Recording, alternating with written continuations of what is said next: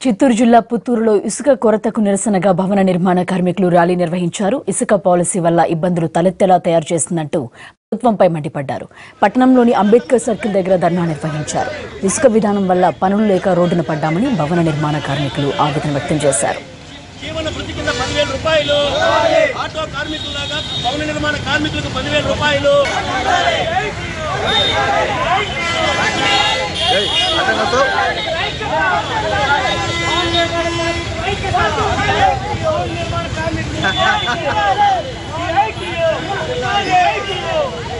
Thank you.